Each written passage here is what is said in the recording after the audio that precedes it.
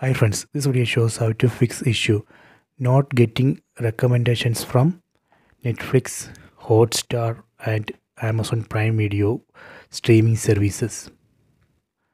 Go to settings, set settings icon from top right corner.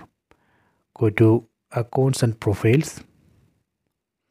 Set one Google TV profile. Let me select this profile Anna.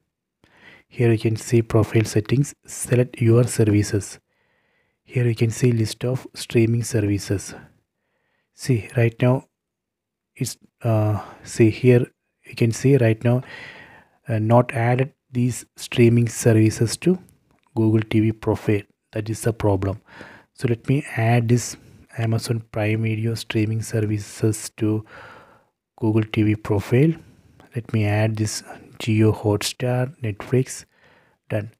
See now I have added Netflix, Hotstar, and Amazon Prime Video uh, streaming services to Google TV profile.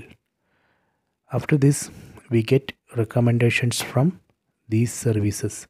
So this way we can fix that issue. So you can try this. I hope you enjoyed this video. Please subscribe this channel. Please like and share the video.